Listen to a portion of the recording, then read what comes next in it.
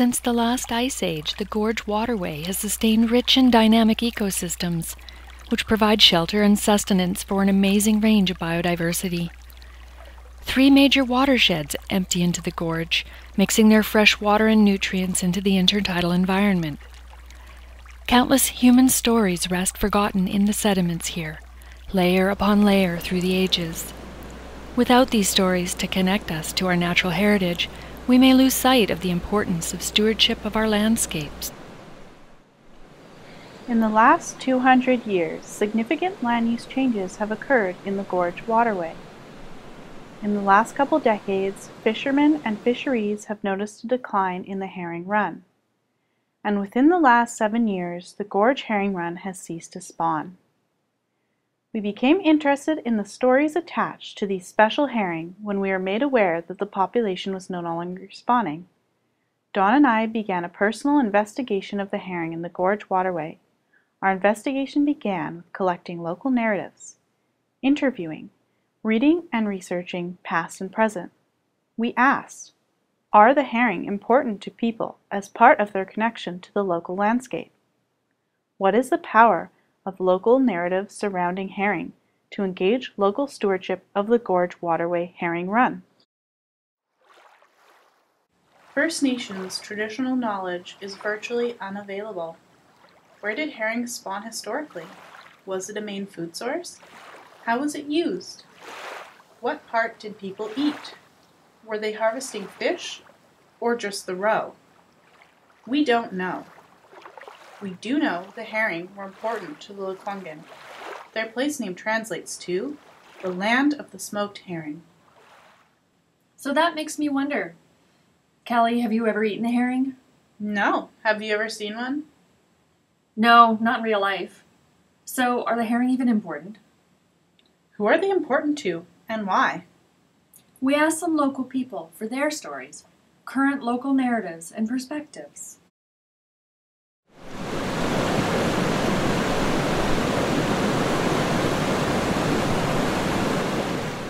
And then now that they're 15 and 11, now I adopted a dog, and um, I'm jogging him around the gorge every day, uh, keeping us in shape. It's a beautiful scenic place. It's safe and lovely and great people.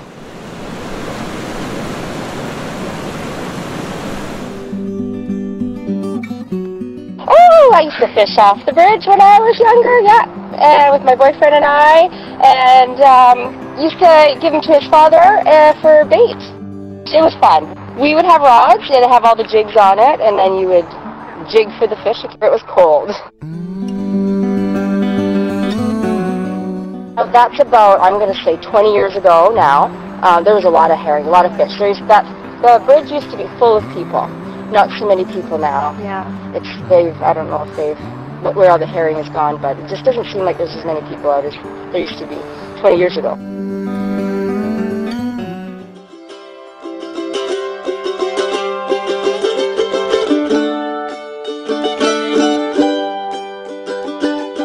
One of our family sayings is um, if somebody is lucky about something, it's, oh geez, you could fall in the gorge and come out smelling like a rose. My dad was a fisher, and he was always a fisher. And he would skip school sometimes, and uh, but he would be fishing for herring on the gorge bridge. Um, like there are were family pictures, and it was sort of part of a family story when the fam- when the run came. And uh, I remember as a kid being excited when it was time because you'd see all the guys. There'd be like the whole bridge field seemed to be full of fishermen. And I noticed that there's only two guys fishing there now this year. And it's it's it's appallingly sad.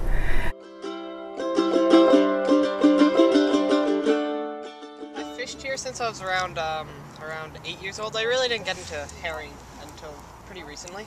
Okay. So the first time I went, I went right onto the bridge over there, and I caught around five each day. Last year, I've seen a decrease in the amount of people amount of fish people have been catching around the bridge, Okay. even with um, expert people who go every day for almost all of the fishing season or before. Mom first taught taught me about how there is fish even in this in this body of water, and she told me that the main fish was herring. So I decided that I wanted to catch some, and then she pointed me towards the bridge and said, and gave me the proper gear and said, "Go." I have because I live in this area, I know a lot of people here, and I know one fisherman who fishes herring, and he always he always notifies me when I'm walking to school.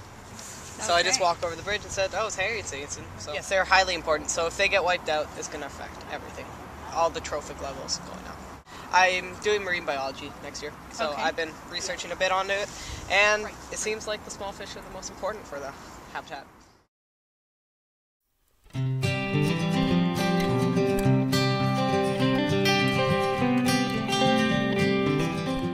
Local fishermen, the media, conservationists, and scientists all contribute to the story as well.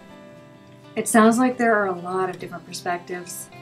Okay, so Dawn, what's the real story? Hmm. As the stories and explicit connections to the fish decline, the stewardship declines, and the picture becomes blurry.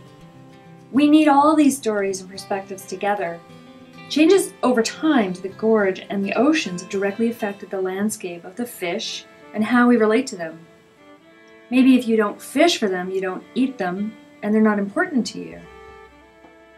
Conflicting information and multiple perspectives, stories and ideas muddies the waters. There are many different types of knowledge and ways of knowing. So, if we can bring people and their narratives and knowledge together, maybe we can form a clearer picture. Oh, Callie, what does it all mean? What are the connections here? Well, I think we've come to find out that through landscape narrative and local connections to the gorge, people don't explicitly make stewardship connections. I don't think they feel innate responsibility for the health of the land and the creatures that inhabit it. Perspectives and voices do all weave together into the story of the gorge herring, which can actively inform our stewardship practices and participation.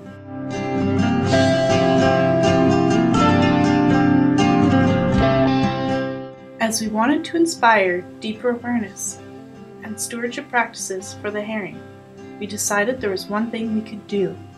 Since the herring didn't run this year, we held the first annual Human Herring Run. Together, we are building new stories and continuing the old ones, forming a larger picture. All these stories are vital to our feeling of connection and our current and future stewardship of the waterway. We lose the threads of a larger weaving when we stop telling and listening to our stories of enjoyment.